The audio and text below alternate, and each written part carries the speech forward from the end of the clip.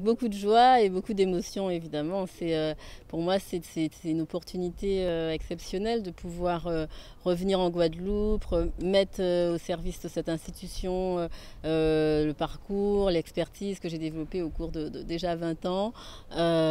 donc non, je suis très très heureuse et très très honorée. C'est une candidature, il y a une, ouverture de, poste et, donc plusieurs, plusieurs, candidats et une présélection. Ça a été un processus un peu long euh, entre le mois d'avril et, aujourd'hui. Donc, euh, voilà. La candidature de L'Oréal Vincent s'est imposée au jury euh, de par son parcours professionnel, de par ses diplômes, de par son expérience acquise à travers les musées du monde et aussi à travers l'UNESCO, puisqu'elle a été chargée de mission auprès de l'UNESCO, au commissaire en quelque sorte pour cette d'exposition.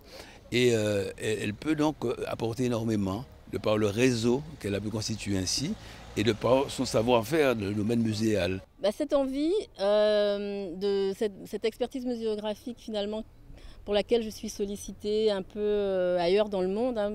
Euh, j'ai travaillé avec d'autres musées euh, avec lesquels j'ai développé des programmes et du coup l'envie de se dire aussi aujourd'hui je peux travailler en Guadeloupe et cette expertise-là la mettre au service des Guadeloupéens, au service de la Caraïbe et au service de nos institutions patrimoniales.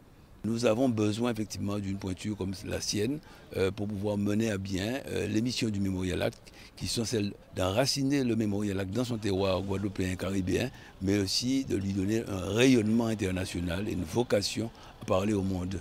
Voilà donc les raisons pour lesquelles il ne pouvait pas être coup de comment.